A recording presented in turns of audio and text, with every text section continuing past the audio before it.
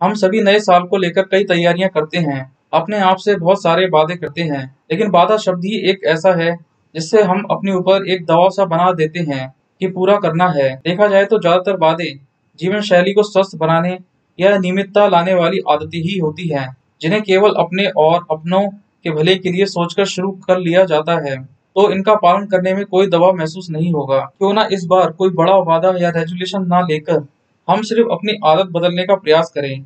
ये आदतें खुद पर सख्ती बरत कर कड़ी परीक्षाएँ देने की नहीं है, बल्कि ये आदतें हैं सही खान पान की मदद से, सेहत पाने की। हमें हर रोज क्या आवश्यक रूप से खाना ही चाहिए और किस समय क्या खाना चाहिए, ताकि हम स्वस्थ रह सके।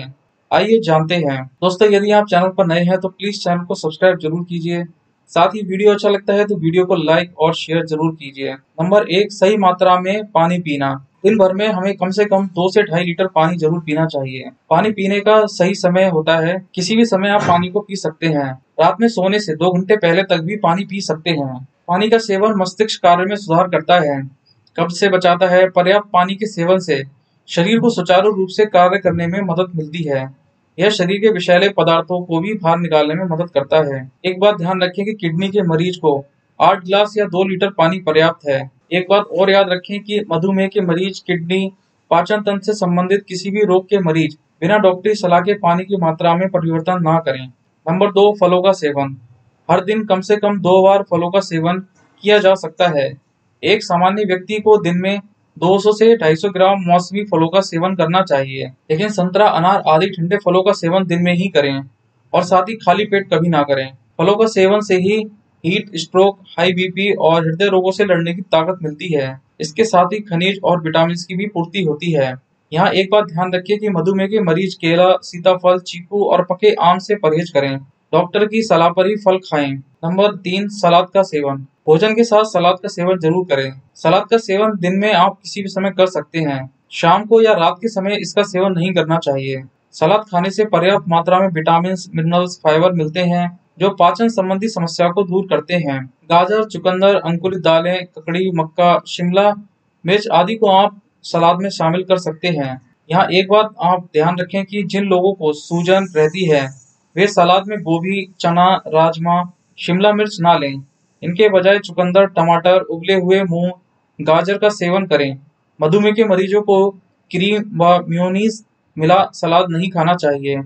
मक्का, पास्ता मिला सलाद छौंक लगा सलाद व शहद में मिले हुए सलाद का सेवन नहीं करना चाहिए। नंबर चार, साबुत अनाज। एक सामान्य व्यक्ति साबुत अनाज का सेवन दिन में दो बार कर सकता है।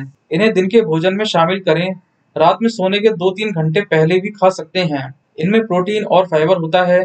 प्रोटीन से मांसपेशियाँ और ऊतकों की मरम्मत होती है। फाइबर से पाचन में व वज़न नियंत्रण करने में भी मदद मिलती है। सलाद के साथ या सब्ज़ी के रूप में सेवन कर सकते हैं। साबुत अनाज पकाने से पहले भिगोने की प्रक्रिया अपनाएँ, जैसे छोले, चने, लोबिया इत्यादि। नंबर पाँच, दूध का सेवन। एक व्यस्क व्यक्ति को दिन में 400 मिलीलीटर दूध पीना चाहिए। जिन लोगों को पाचन संबंधी समस्याएँ होती हैं, वह लोग दूध का सेवन ना करें।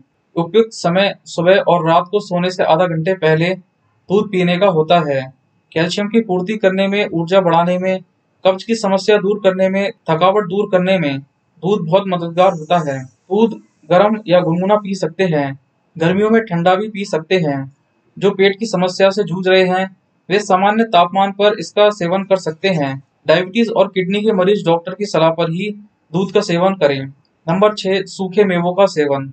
रोज मेवों का सेवन फ़ायदेमंद होता है। बादाम छः से आठ, अखरोट दो, किशमिश पाँच, खजूर चार, अंजीर दो, काजू चार, पिस्ता चार, खुआनी एक, अंजीर दो, खजूर और अंजीर आयरन के अच्छे स्रोत हैं और अखरोट में ओमेगा थ्री अच्छी मात्रा में पाया जाता है। तो आप इन्हीं मात्रा में इसका इस्तेमाल करें। इससे ज़्यादा आप अगर खाएँगे तो यह आपको नुकसान भी कर सकते हैं। सुबह सात बजे से शाम पाँच बजे तक इन्हें खाया जा सकता है। इन्हें भिगो कर रखें, फिर खाएँ, ताकि पाचन संबंधी समस्या ना हो। Dietary fibre vitamin A vitamin E आवश्यक फैटी एसिड खनिज प्रोटीन्स ये सभी इन ड्राई फ्रूट से हमारे शरीर को प्राप्त होते हैं। मधुमेह पीड़ित तथा रक्तचाप वाले मरीज़ डॉक्टर की सलाह लेकर ही मेवों का इस्तेमाल करें। नंबर सात, दाल का सेवन। एक सामान्य व्यक्ति को दिन में 25 से 300 ग्राम दाल का सेवन करना चाहिए। एक कटोरी दाल को दोपहर के भोजन में खाना ही चाहिए। दालों में प्रोटीन भरपूर मात्रा में होता है, जो हमारी मांसपेशियों को टिश्यू के मरम्मत के लिए आवश्यक माना जाता है। दाल को उबालकर और अंकुरित करके खाया जा सकता है।